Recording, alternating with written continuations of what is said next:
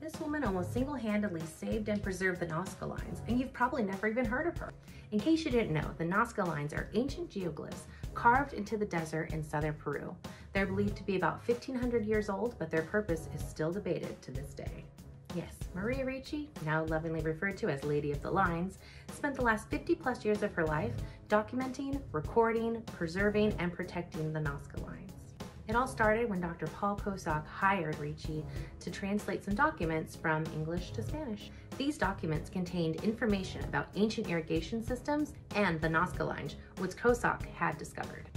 In 1941, Reiche had started working with Kosok and eventually took over everything. She loved and wanted to protect the Nazca lines so much that she moved into a house in the middle of nowhere just to be closer to them. Because of Reiche's hard work and dedication, she brought national attention to the Nazca lines, and in 1994, they became a World Heritage Site.